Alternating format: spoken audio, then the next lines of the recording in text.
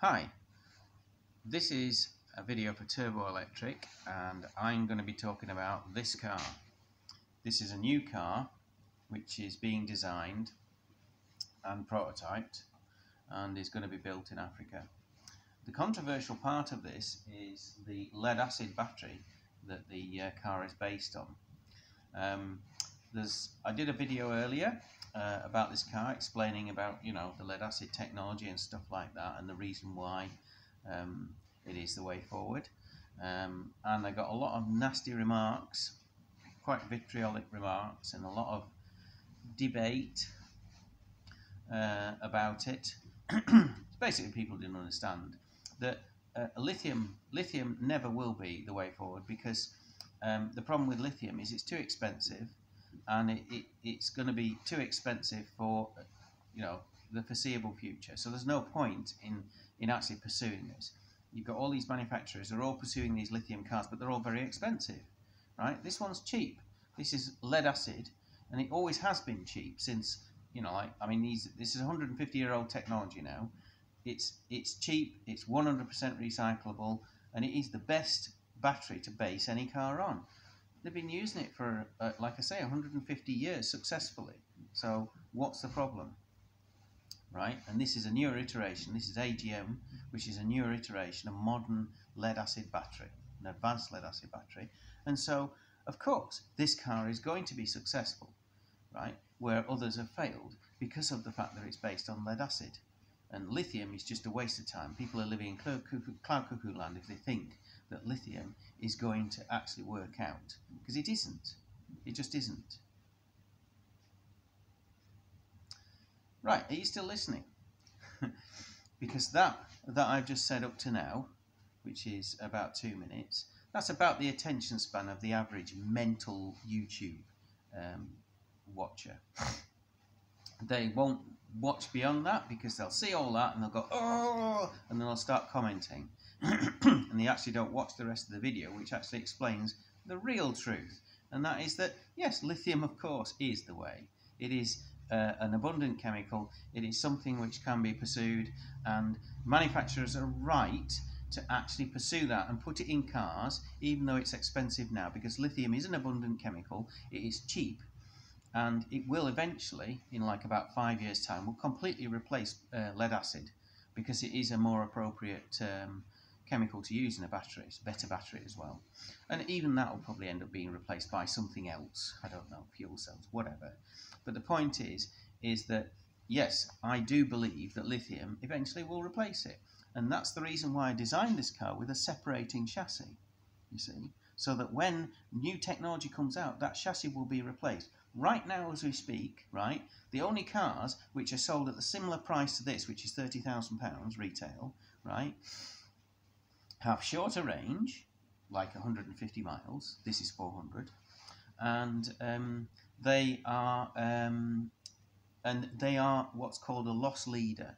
Right, if you don't understand what a loss leader is, this is where a manufacturer uses finance from another part of the business or from borrowing, and they actually do not, they set the price of the car based on what people will pay rather than how much they can, uh, rather than trying to profit on it. And the idea is, is that in the future, that means that that market price, the, the manufacturing cost of that, uh, doesn't matter what it is, in this case it's an electric car. For instance, the Tesla Model 3. Tesla Model 3 you can buy for, it's just under £30,000, I believe, right? It costs Tesla somewhere between 35 and 40 grand to actually produce that car. So that's a loss. Why do they do it? Because eventually the price will come down to the point where they'll be profiting. But it's not today. it's going to be in five or ten years' time. So they're doing what's called a loss leader, and that is to try and capture the market. This is not a loss leader. This is actually a profitable um, business because of the fact that it's using a cheap battery. That battery in this car will, when it's on mass produced, will cost me around about the six, seven thousand pound mark per car okay, the equivalent in lead in, in lithium is around about 40,000 right now. It's more than the price of the car. it's uh, 120 kilowatt hours. That's the biggest battery in any car that you can buy mass produced today. The biggest one um, currently that you can buy is a Model X or a Model S or um, in fact any other thing Teslas now, which is 100 amp hour, uh, 100 kilowatt hour, sorry. And that's the biggest battery that you can buy, and that gives you around about 300, 350 miles range, quoted. Okay, this is 20% bigger and gives you 400 mile range, right? So I just want to address the point that people are making, which is a valid point, which is that the, the reason, part of the reason why lithium technology is better is because of internal resistance. Internal resistance of a lead acid battery, although these are AGM, these have a lower internal resistance than a standard battery, right? But the, what that means is, is if you're drawing a lot of power from the battery, the actual battery itself will heat up and lose energy because inside it's resisting, it, it has a high internal resistance, right? And that causes a power loss, right? But this battery is so big that the current that's drawn is actually even even at the max power, the current that's drawn from this is only a tenth of the rated capacity of the battery, C over 10, right? So we're not taking it to its absolute limit, which is the thing that, that causes the problem. This, you know, like under normal operation, this will be C, C over 20 or something like that, right? Which is the rated, which gives you the rated capacity which in this case is 1.2 kilowatt hours per battery, and it's got 100 batteries in it. So that's 120 kilowatt hour, right? So that's the reason the design, the design, the, the battery is so big that the amount of energy that's taken from the battery at any given time is such that the lead acid battery will perform as it should do, rather than being under stress. You see, and so it will, it will draw, it will get the 400 mile range out of it because it's not drawing high powers from the battery in order to do it. It's, it's relatively low. Three parallel batteries. Each battery is 450 volts.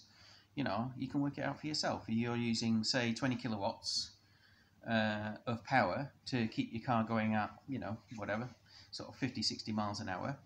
You can work it out. It's not much. You know, it's, it's you know, 10 amps um, per battery something like that, which is less, which is you know that's that's the sort of range we're talking about. So unless you're taking this on a drag strip, in which case you don't care about the range, of course, you know you're not taxing this car. And in fact, round town, you're talking about something that basically is going to take something like maybe two amps per battery.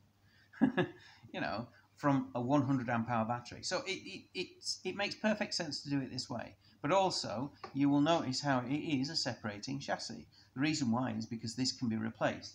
Why is it a complete chassis and not just the battery? Okay. Now, do you remember back in the, I think it was the um, 90s, the early 90s, uh, around about the 90s, when people brought out computers and they were making those computers so that they could be upgraded. And so you'd have a socket-based CPU, you'd have socket-based RAM, you know, if, if people, obviously the people watching this quite possibly weren't around at that time, and uh, didn't know about this, but basically that's what happened. And manufacturers saying, yes, buy my computer because it's upgradable, right? But that was bullshit because then what they did is then changed the socket design. They changed the memory chips and stuff like that so that even though, you know, like in theory it was upgradable, the manufacturers discovered that they basically didn't want people to just buy the modules. They want them to buy a whole computer again. And so they actually change the manufacturer of the compute uh, of the chip and and stuff. So you actually had to buy basically a whole computer if you wanted to upgrade it. And so it was bullshit, right? And and it's for the sake that that was contrived, but it's a similar thing here where if you're using a different battery technology, it's not just a case of swapping out the lead acid batteries and putting lithiums in. No, you have to change a load of things, right? The most obvious is the charging system, which is different for a lithium battery. So you need a different system for that. The battery management system will be different as well because um, lead acid has a different performance than lithium. So you need to change uh, the battery management system. Might be just a firmware upgrade, but hey. But other things which aren't as obvious, like for instance, this is obviously a heavy chassis, right?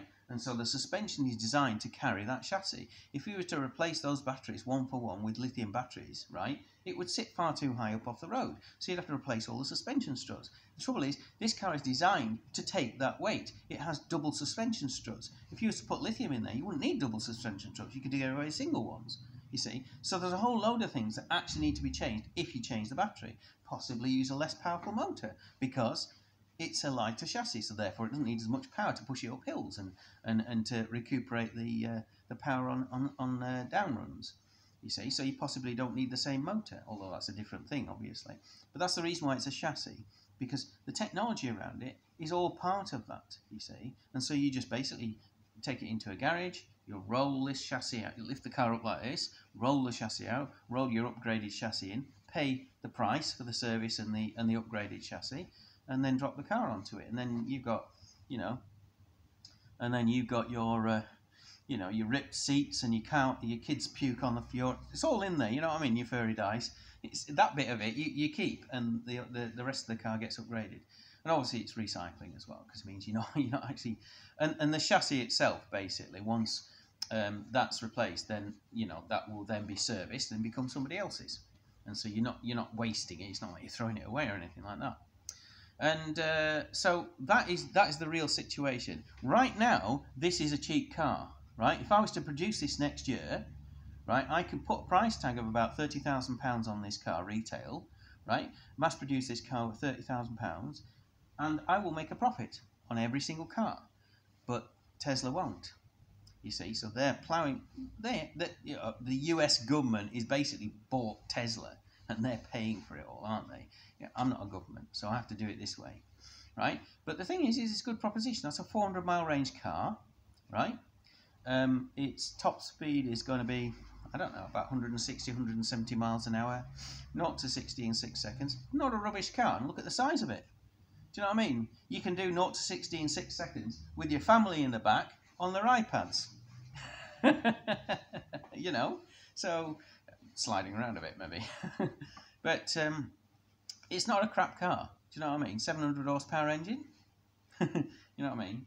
Um, so that's the thing about the batteries. Okay. Now I'm going to post this video, and I guarantee you that the comment section will be full of "Oh, you're a fool" and all that sort of thing. It will happen. You will see. Right. Now this is about a 13 minute video probably be chopped down to about 12, 10 minutes or something like that.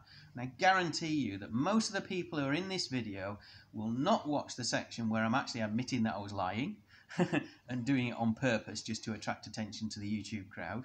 And when I'm talking about the YouTube crowd, I'm talking about the one that are a bit crazy. okay.